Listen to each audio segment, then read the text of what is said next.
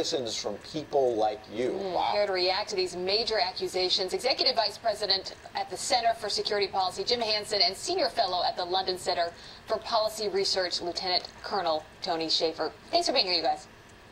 Pleasure. All right, off the top, Jim, what is your what is your immediate reaction? This is all sort of breaking this morning.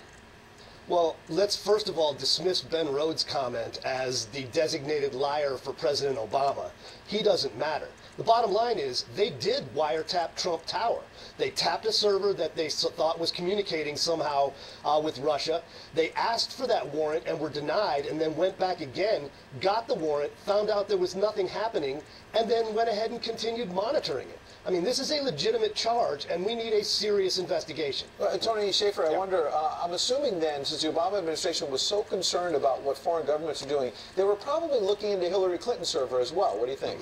Doubtful, but uh, they should have been. I mean, the, the right. fairness here is that you need to be doing both. There was clear indication that the Clinton folks were doing it.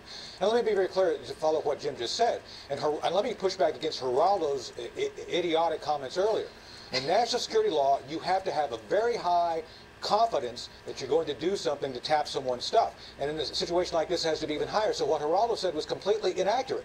You, you, in this case, you had to make a clear, concise case of interrogatories. And let me say something else, and this is something else we have to worry about, is that the president, as we know under President Bush, can use NSA under uh, uh, what we call Title 10 military conditions. And so there's, there's ways of getting around the so-called oversight rules that, that, he could have done.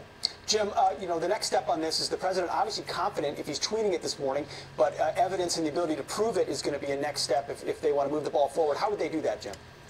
Well, they did get a FISA warrant, so he doesn't have to prove that they wiretapped him. They did wiretap him. The question is now, how deep does this conspiracy go? Mm. Why was President Obama's administration wiretapping a presidential candidate during the campaign? Who else was involved? Was, was this coordinated with the leaks that were coming out during the campaign, the leaks that came out during the transition, and the sustained attack on the Trump administration sure. by former Obama officials? It seems to me there is a just cause for looking at that. Tony, I want to give you the last word because you're always on top of these things. Very quickly, though, I want to defend our colleague Geraldo. We don't want to throw any uh, you know, he's entitled to his opinion. Oh, if he were here, he would him. jump right in. I just want to make that clear. But quick 15 seconds, where sure. does this go next?